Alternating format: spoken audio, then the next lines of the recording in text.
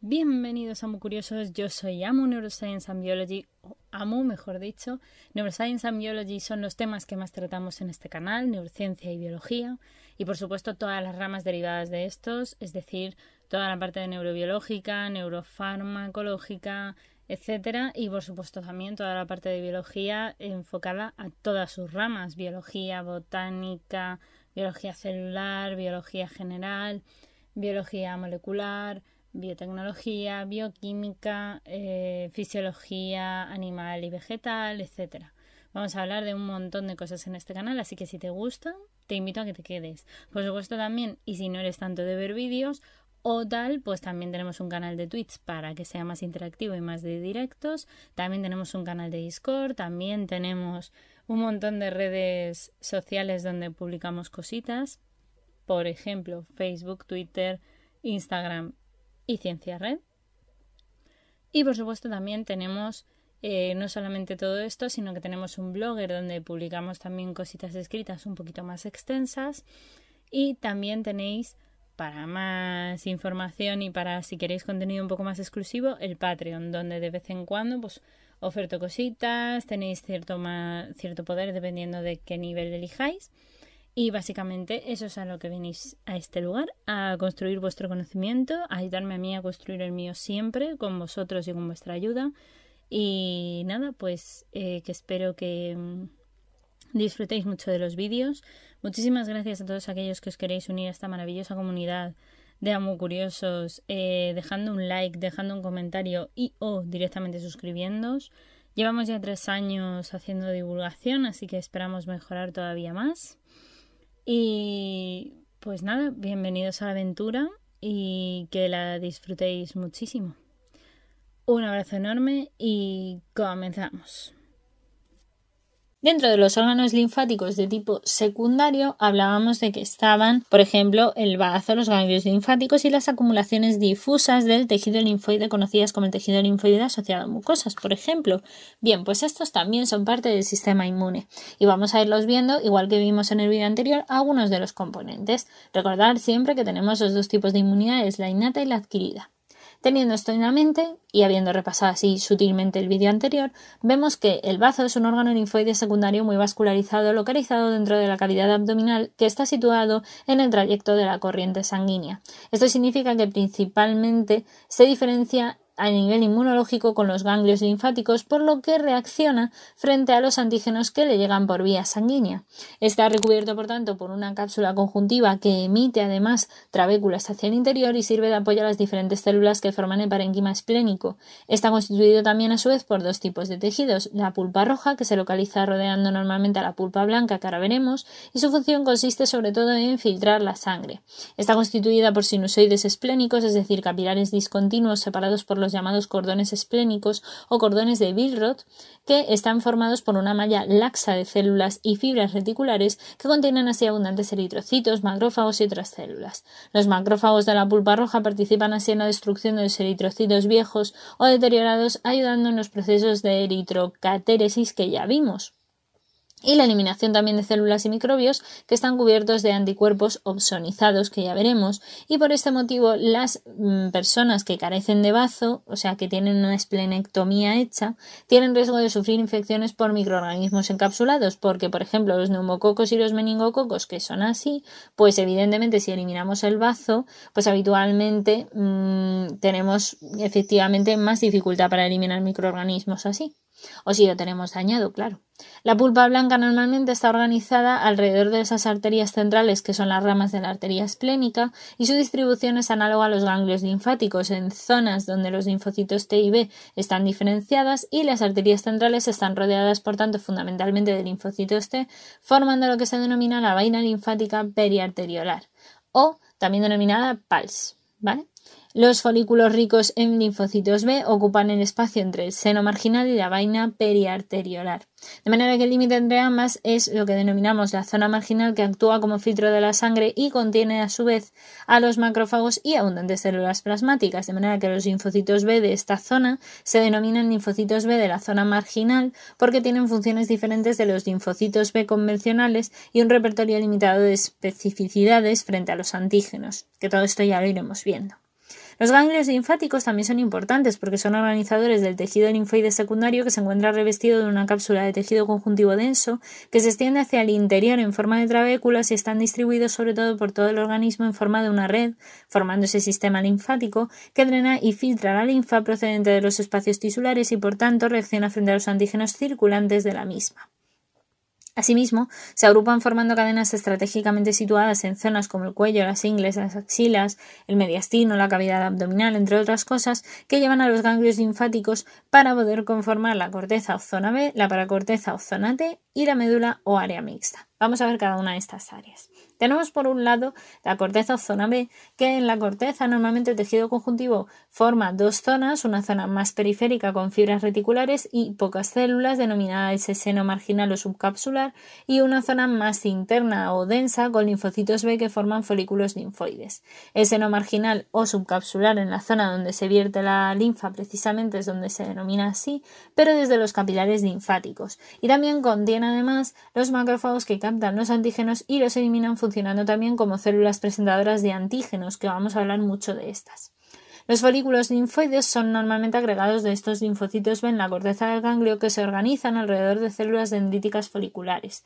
Pueden ser primarios o secundarios y se forman a partir de los primarios cuando son estimulados por algunos antígenos. Los folículos primarios están formados, por supuesto, por linfocitos B vírgenes, ¿vale? Que no han tenido contacto, por tanto, con patógenos, mientras que los folículos secundarios normalmente poseen centros germinales o germinativos en los que predominan los linfocitos B ya activados en modo proliferante. proliferante. En el centro germinal se lleva a cabo la maduración de la afinidad y el cambio del isotipo de las inmunoglobulinas, así como la regeneración de los linfocitos B de la memoria y células plasmáticas de vida larga. La paracorteza o zona T normalmente se encuentra principalmente rica en linfocitos T y abundantes células presentadoras de antígenos, como son las células dendríticas, y en esta región se encuentran también las vénulas del endotelio alto, que están involucradas en la extravasación de los linfocitos desde la circulación de los ganglios, de manera que los linfocitos T vírgenes, por tanto que no han tenido contacto con patógenos, expresan un receptor llamado CCR7 que se une a las quimioquinas o quimiocinas CCL19 y CCL21 producidas por las células estromales que promueven así el movimiento del linfocito T desde la sangre a través de estas vénulas del endotelio alto. La médula o área mixta es la zona más interna del ganglio y está formada normalmente por un laberinto de senos por los que circula la linfa separados entre sí por cordones medulares que contienen linfocitos T, macrófagos, linfocitos B por supuesto y abundantes células plasmáticas o también llamados plasmocitos que son productoras todas ellas de anticuerpos. Esas células plasmáticas que son las productoras de anticuerpos. Bien, Llegamos a los tejidos linfoides asociados a mucosas o MAL, que son acumulaciones difusas del tejido linfoide no encapsulados, en este caso, situado en la lámina propia y en ocasiones en la submucosa del tejido mm, del tubo digestivo, es decir, que normalmente se denomina GALT, o en las amígdalas con el anillo de Waldeyer, o en el apéndice vermiforme, o en las placas de Peyer, o en las vías respiratorias, donde estaba el BALT, que os he comentado antes en el vídeo anterior, y el tracto genitourinario. Así que con todos estos ganglios es muy importante mantener las defensas activas. La respuesta inmunológica normalmente en estos ganglios se desencadena frente a antígenos que atraviesan las mucosas, siendo mayoritariamente de isotipo inmunoglobulina A, y en el MALT concretamente también se encuentran los linfocitos T intraepiteliales, que son los T gamma delta, y las denominadas células M, que también poseen micropliegues que se llaman microfold y se localizan eh, principalmente en la mucosa del intestino delgado, donde captarán los microorganismos y otras macromoléculas que puedan llegar a ser dañinas. Tejidos, por tanto, con privilegio inmunitario. Que creo que esto ya os lo comenté también, pero bueno, no está de más en, menos en inmunología comentarlo, aunque las respuestas inmunitarias y la inflamación asociada en ciertas partes del cuerpo, evidentemente, como el encéfalo, la cámara anterior del ojo, el testículo, la placenta o el feto, conllevan un riesgo de disfunción del órgano o de fracaso reproductivo, en el caso, por ejemplo, del feto, estos tejidos han evolucionado para protegerse a esas respuestas inmunitarias y eh, llevan a cabo un proceso que se llama el privilegio inmunitario o inmunológicamente privilegiados, es como se denomina a estos órganos o a estos tejidos.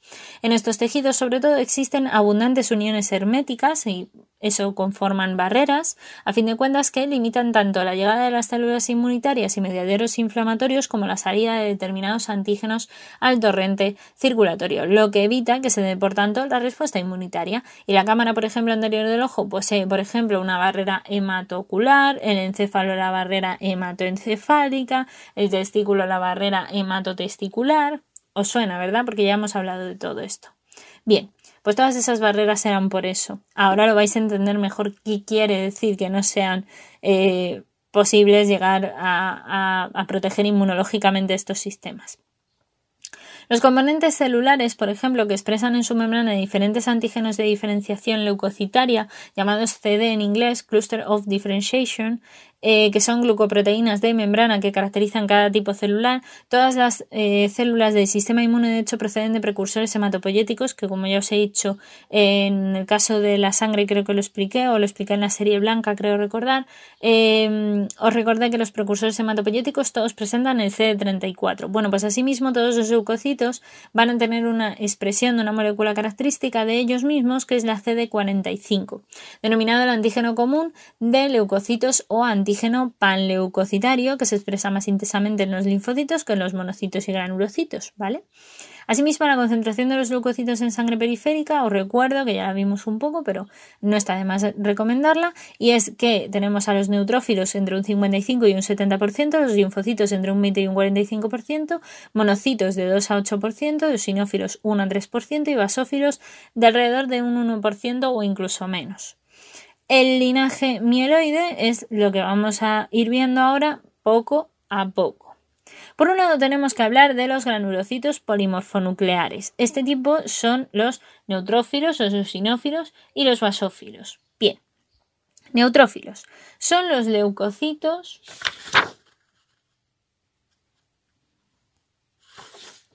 los basófilos macrófagos o fagocitos mononucleares, mastocitos, células dendríticas y células dendríticas también foliculares que son un tipo un poco aparte.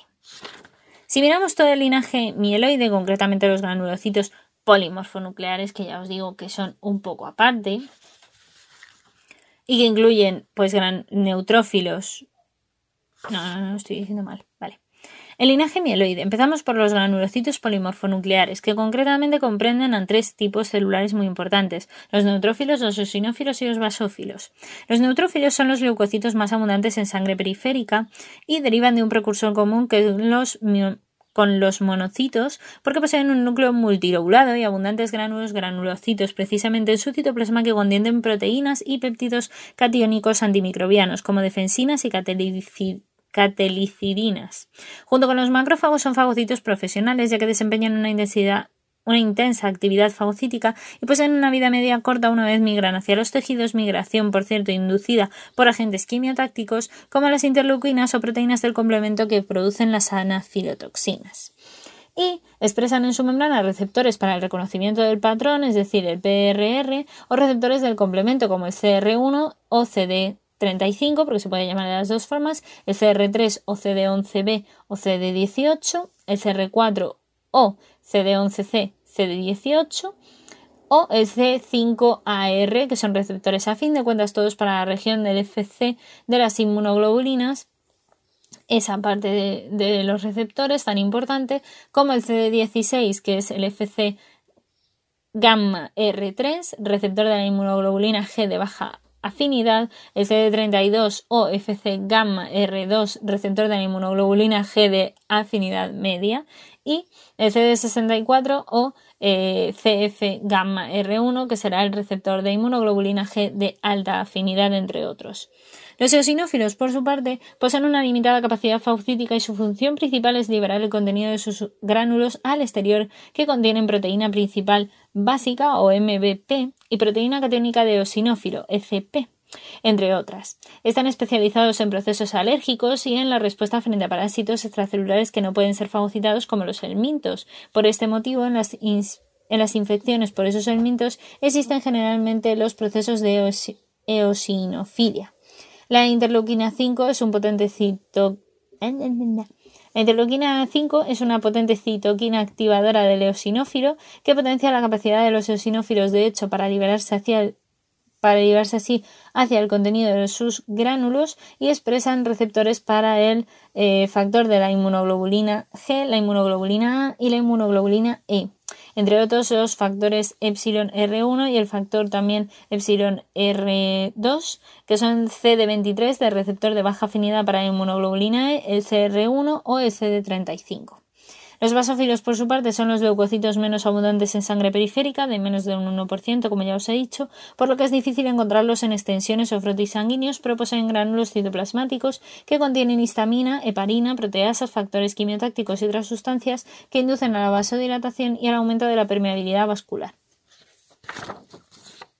Participando así en procesos inflamatorios y en la liberación de sus gránulos, que suele ser consecuencia de procesos alérgicos y además expresan principalmente al eh, factor epsilon R1 o receptor de alta afinidad para la inmunoglobulina E. Pues hasta aquí por ahí, muy curiosos. That's all, folks. Espero que os haya gustado mucho el vídeo. Dejar un like, un comentario y una suscribida si no lo habéis hecho ya. Y nos vemos en el próximo vídeo. Que la ciencia y la fuerza os acompañe.